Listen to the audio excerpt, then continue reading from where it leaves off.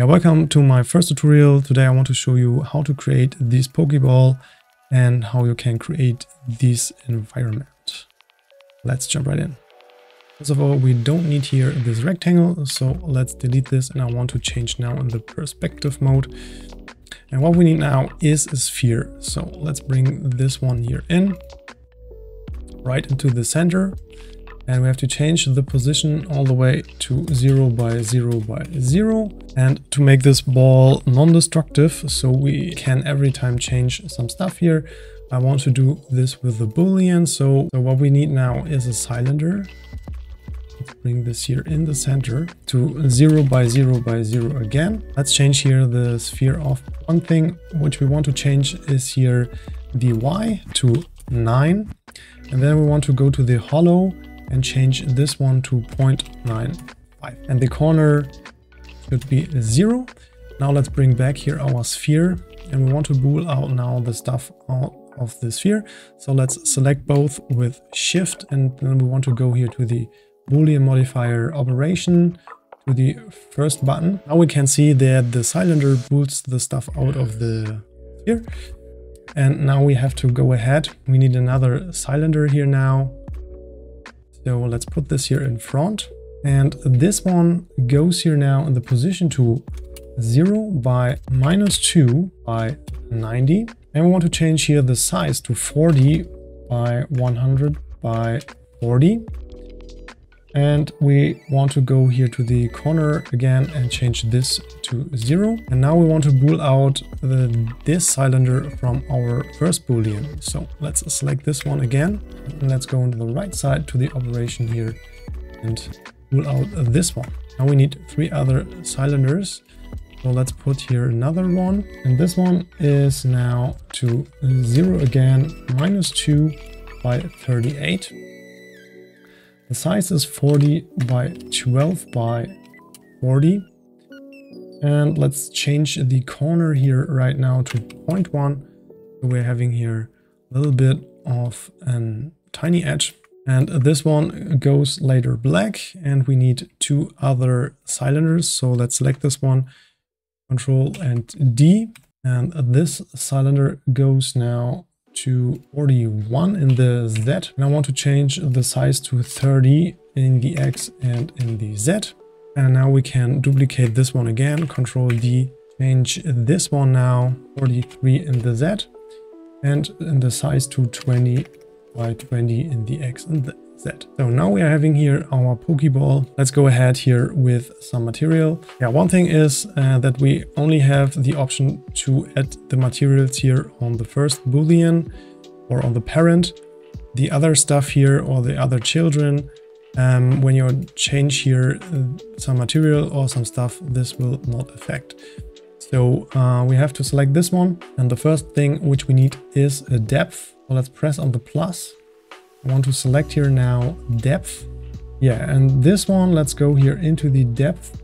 We want to have the mode here on color, that's okay. We want to use vector and linear, that's okay as well.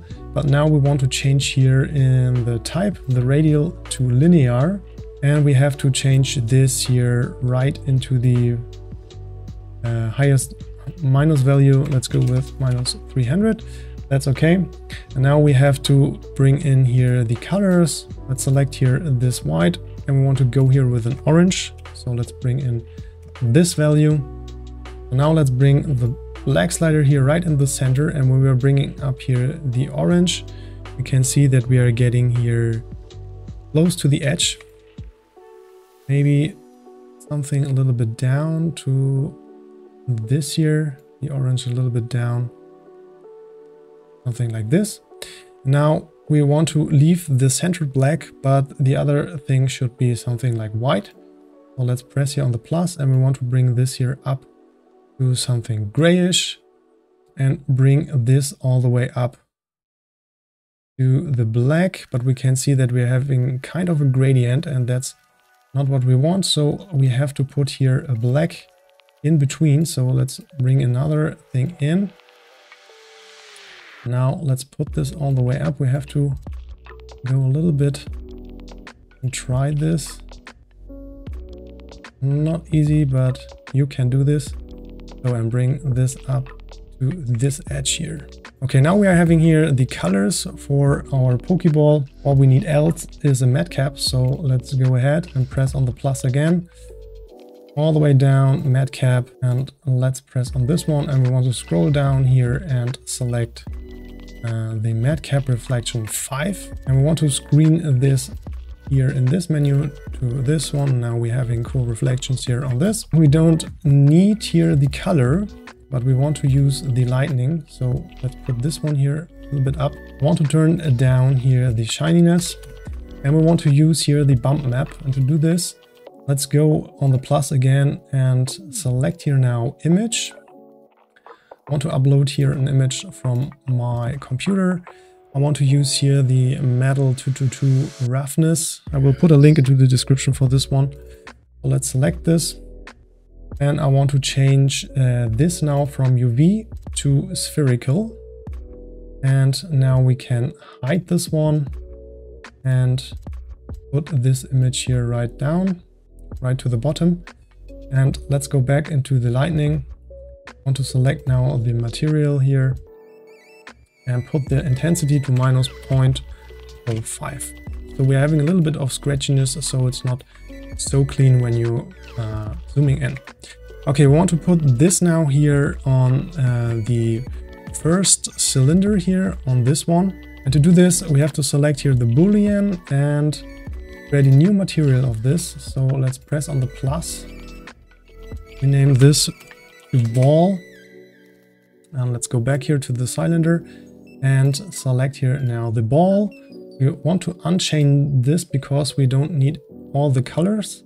So let's go into the depth and get rid of all the colors uh, except the black ones. So you have to drag and drop them uh, down. So press down the mouse button and go up or down.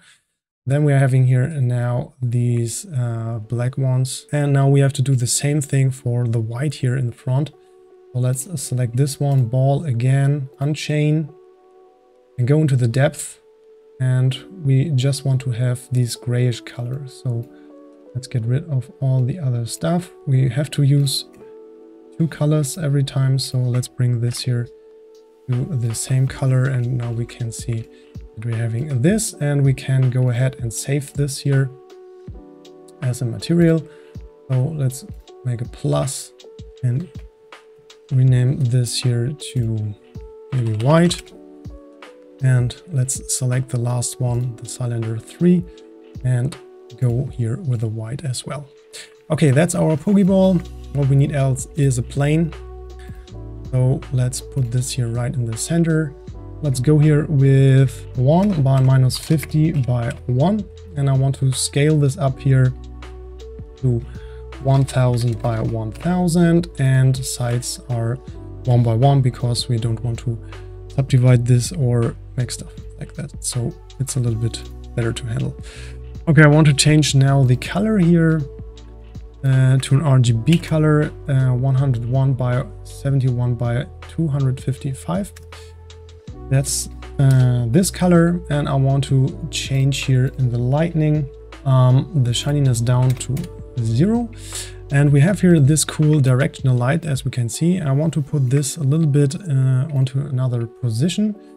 So let's select this one now, and I want to go to minus 1000 to 700 by minus 385. So we're having here this cool shadow. And let's bring in a new camera um, for the orthographic view. Let's select this one and we want to change now the viewport to our camera. Let's put this one to 33.6 by 238 by 350. I want to rotate this to minus 34 by 38 by 23. And let's go here with an orthographic view and the zoom is 1. So let's change now the background. We want to press here on the sidebar and let's go here to the BG color and use here this eyedropper and select here the plane. That's cool here now and when we're going into play mode everything is cool. You can uh, go to export. You can go to the play settings and limit here uh, the orbit. I like to go here with 20 by 20 by 20 by 20.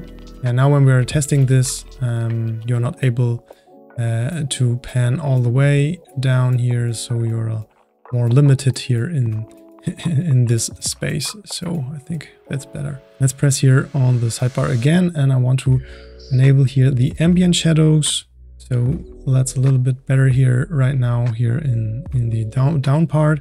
And the last thing is we're going here into the effects and enable the hue.